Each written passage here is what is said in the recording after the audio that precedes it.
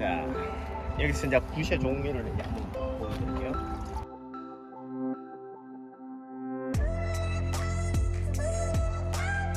자, 이런 것들. 그 다음에 이런 나이프.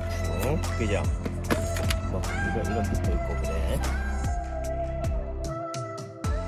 그리고 이런 아주 작은 붓들도, 섬세한 붓들도 있어요.